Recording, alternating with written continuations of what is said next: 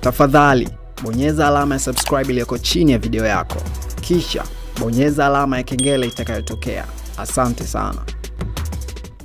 E bana, afisa habari wa klabu ya soka ya Simba Dar es Salaam Haji Sunday Manara ameweza kufunguka jinsi ambavyo wameweza kuhama kutokea katika jengo la makao makuu ya klabu ya soka ya Simba linalopatikana maeneo ya Kariakoo, Msimbazi na kuweza kuhamia mtaa wa Samora pale Posta kwa ajili ya kutengeneza ofisi mpya zinazojulikana kwa jina la Simba Corporate Office zinazopatikana mtaa wa Samora Avenue. Sasa akielezea suala hilo ambalo lilileta controversy kidogo, na aliweza kuulizwa katika kipindi cha Kipenga Extra cha East Africa Radio kutokana na kuonekana kama wameukana ule utamaduni wa klabu ya soka ya Simba ambaye imezaliwa katika maeneo ya Kariakoo jijini Dar es Salaam.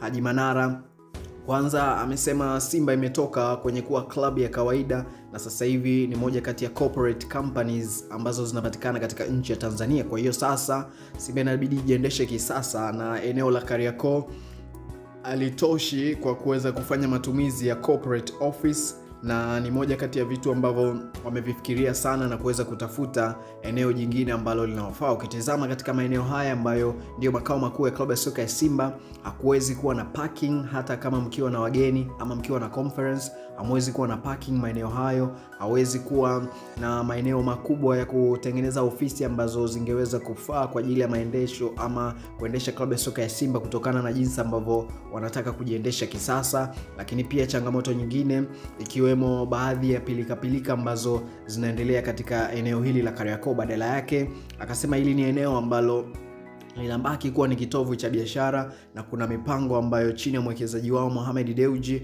wanaitengeneza vizuri, wanatahakikisha kwamba kinakuwa ni kitovu cha biashara katika eneo la Kariakoo, kuhakikisha maeneo haya yote yanatengenezwa vizuri, lakini pia yanaweza kuwekwa sawa ili waweze kutengeneza fedha nyingi kutokea kwenye maeneo haya ya klabu ya soka ya Simba ya Dar es Salaam, ambapo ndo makao makuu na klabu hiyo iliweza kuzaliwa hapa na ndo zilikuwa ofisi na makao makuu ya klabu ya soka ya Simba kwa miaka ya nyuma iliyopita. Kwa hiyo Haji amesema sio kwa ubaya kwamba wanakimbia Kariakoo, wanakimbia asili ya klabu ya soka ya Simba. Badala yake wametafuta e, njia ya kuweza kujiendesha vizuri, lakini pia kupata ofisi za kisasa ambazo zitaweza kuaccommodate kila ambacho kinatakiwa na corporate office ambazo sasa hivi Simba Sports Club imekuwa eh, na corporate office katika maeneo ya mtaa wa Samora Avenue jijini Dar es Salaam. Kwa hiyo so far hizi ndo ofisi za Simba kama jinsi ambavyo zinaonekana, watu wakiendelea kuchapa kazi ndani kisasa kabisa, ofisi ambazo zinaweza kuhudumia kila kitengo ambacho kinapatikana ndani ya klabu ya soka ya Simba, kuanzia vitengo vya ufundi, vitengo vya wanachama hadi mwalimu Steven van der Broek ana ofisi yake eh, katika ofisi hizi ambazo unaweza kuzishuhudia hapa. Kwa hiyo haya ndo mambo ya kisasa ambayo uh, yanatakiwa katika kuendeleza uh, klabu ya soka ya Simba kama jinsi ambavyo alieleza Haji Sande Manara katika kipindi hicho ambacho alikuwa anafanya interview. Nipe mawazo yako, wewe unahisi ni sahihi kwa Simba kuweza kuhama Kariakoo na kuhamia kwenye ofisi hizi mpya ambazo unaziona hapa? Kufika hapo sina la ziada, gonga like kwenye video, drop your comment. I go by the name AZAR ALLI Azarali and this is Azar's Post. Muchas gracias.